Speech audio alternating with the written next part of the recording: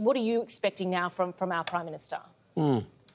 Well, it is a dark day for my people, and I'm feeling that myself right now. I feel the devastation of the loss, comprehensive loss, actually.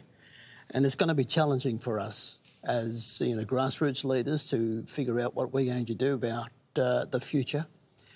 Uh, I think for me, there's been a breach of trust here between our people and the government.